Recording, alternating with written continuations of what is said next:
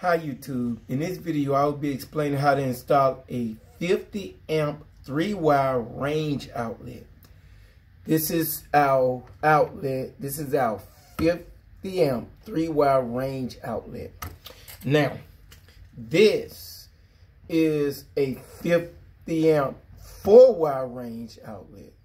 So either outlet could be used for any residential stove or range the only difference is is with the uh, 50 amp 3 wire range outlet, uh, there's no spot on it for the ground to land.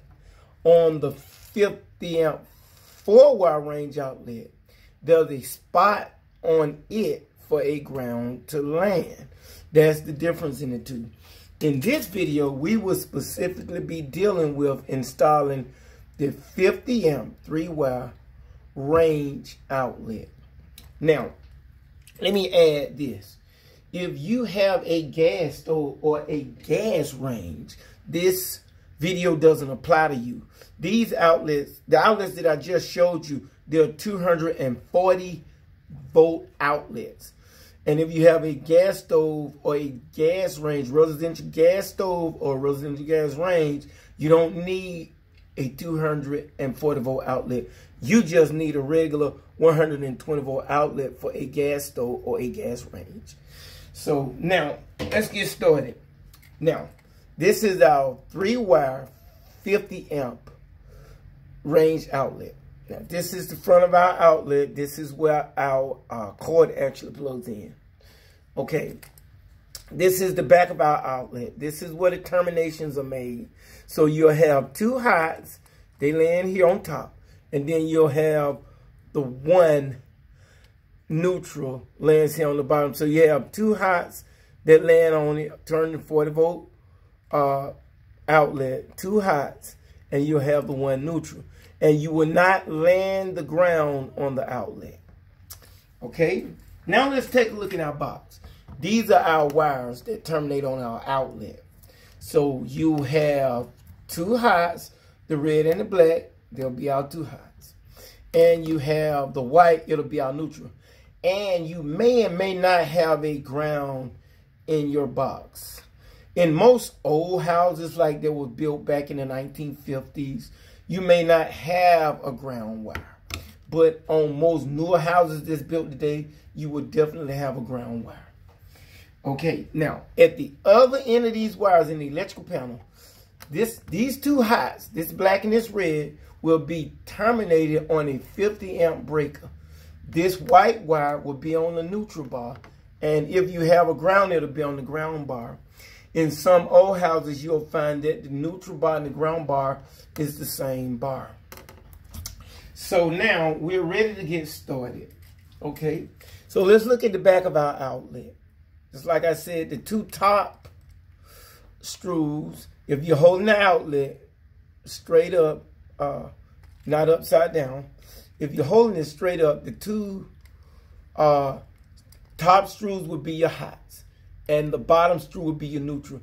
You would also be able to tell what screw is your neutral by on the very bottom underneath the screw, uh, you'll see the word white and the word blanco that tells us that our white neutral wire lands here. So what you do is you slide the wires in these little tiny holes and you torque the screws down.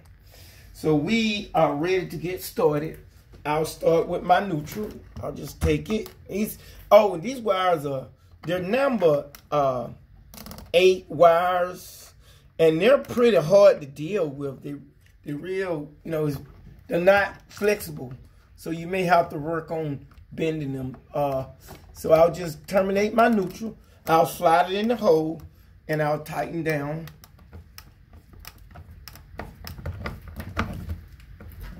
Okay, my neutral's terminated.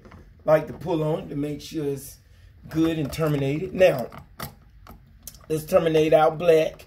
It doesn't matter which wire terminates on which screw, just as long as you have a hot on the each screw. So I'll take my black, I'll terminate it. Now again, these wires are really, really hard to deal with. All right, I'll tighten down.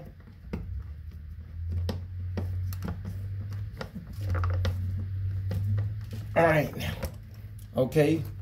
Then I'll take my red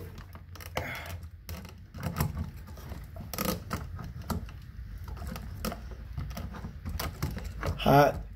Oh, come on.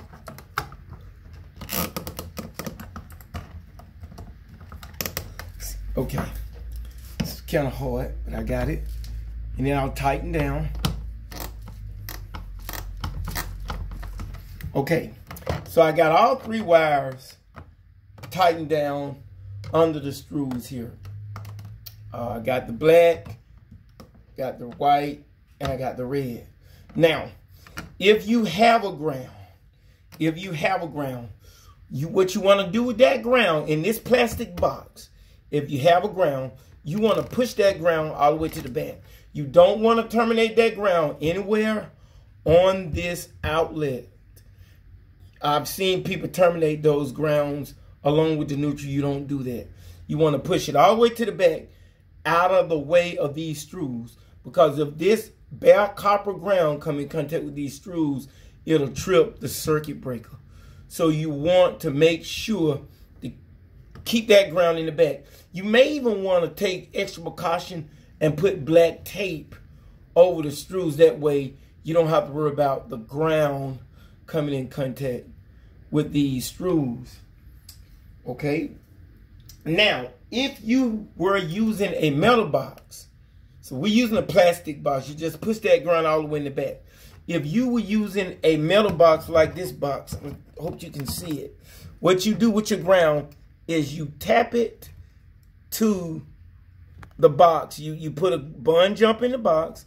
The green wire is the bond jumper. And you tap your ground coming from your panel to that uh, ground coming from your box. That way you can ground the metal box. But what we have here is a plastic box, so we don't have to worry about it. We just push our ground all the way to the back. Okay, now we're ready to terminate our uh, outlet. It's, this wire there again is really, really not unflexible. I got my drill to speed up the process. Uh, got my drill, speed the process up. Right, one.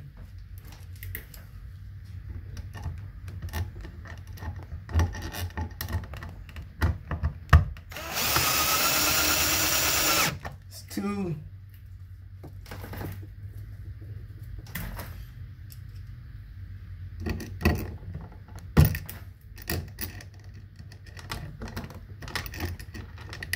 Excuse me. Having some problems here.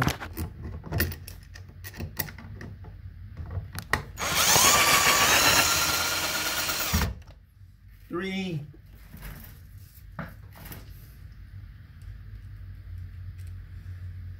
and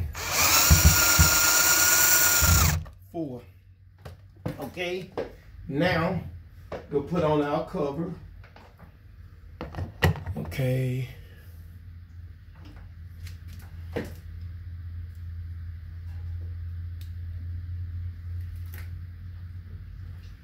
In a minute.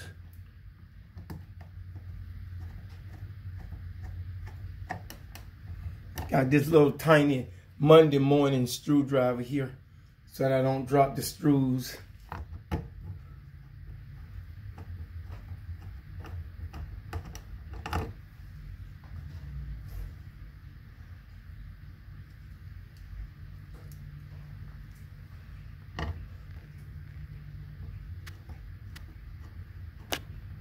Right. And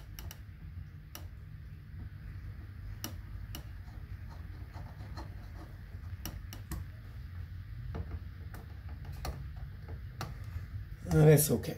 So that is how you will install a three wire 50 amp range slash stove outlet I hope you can find this video beneficial and I thank you for watching.